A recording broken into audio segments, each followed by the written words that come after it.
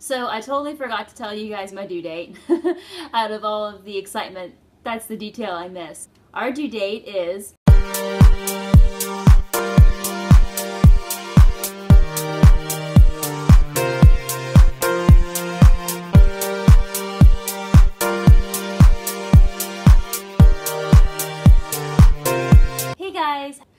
give props to my husband for making my awesome chalkboard back there. He did that all himself and he did it just for me.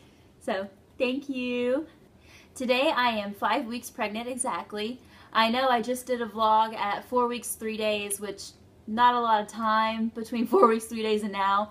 But I wanted to do one today because I'm going to be doing one every week on Saturdays when I will be a new week. So next week I'll do one on Saturday where I'll be six weeks and so on and so forth. And I'm going to be doing it at my new setup, so that'll be even more exciting. As far as symptoms go, not a whole lot has changed. Uh, last I updated you guys on my weight, I was 149, and I've lost weight back down to 146, and I've pretty I've maintained that yesterday and today. So I don't really know what that was about. I usually don't gain a whole bunch of weight my first uh, trimester, except towards the end. Usually towards the end is when I start to gain.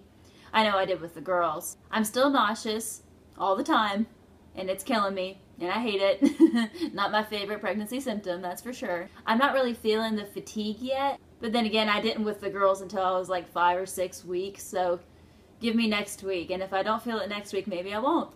Let's hope. my boobs aren't sore anymore, thank God, because that's miserable. I don't know why they were there for a couple of days, but they were. I'm still craving onions, like a lot. um, actually, I'll show you guys a picture of what my husband did this morning. These are the homemade onion rings my husband made for me this morning. They may not be the most beautiful things in the world, but they were delicious. They were so good. So I totally forgot to tell you guys my due date. Out of all of the excitement, that's the detail I missed. Our due date is February 25th, 2017. This is our first winter baby because both Carly and Kinley are summer babies. And I'm actually pretty excited about it because it's miserable being pregnant in the summer. I mean, you're big and you're hot and you're heavy and you can't get comfortable and it's just awful. it's not fun. Um, so I'm actually pretty excited to have a baby in the wintertime. And I know that I'm sure there are, you know, challenges and pros and cons with having a winter baby, but at least I won't be hot. Being hot and big and pregnant is just, oh no, no, no. I don't like it. It's not fun. The downside, I guess, is I now have to buy new maternity clothes because all of my maternity clothes are summer.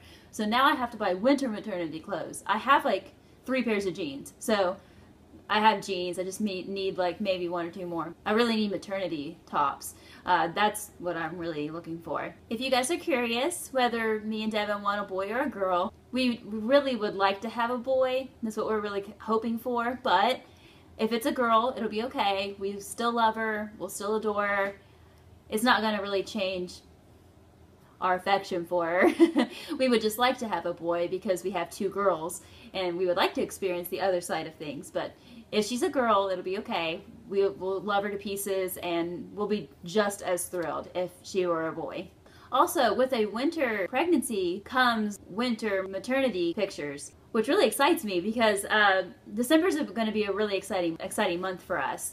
Um, not only is it Christmas, but it is also mine and Devin's anniversary. We got married December 31st of 2013. So if we do maternity pictures in December, it will be Christmas, our anniversary, and our maternity pictures kind of all rolled in one. And I, I'm really excited for that.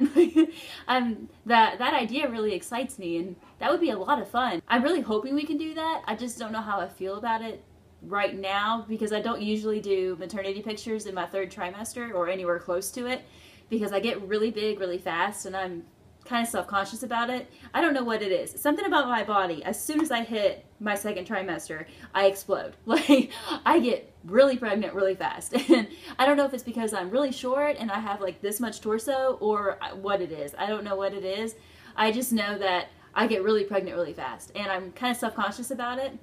Um, so I usually don't like to do maternity pictures in the third trimester. But considering how special the month of December will be for me and Devin and our family, I'm really, really thinking about making an exception.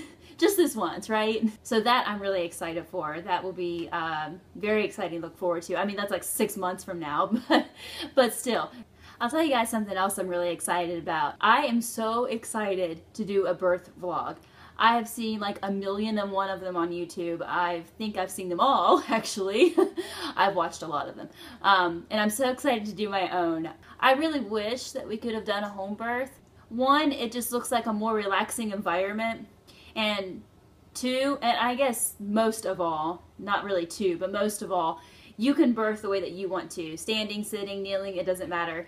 And you and, and I wanted to be in water.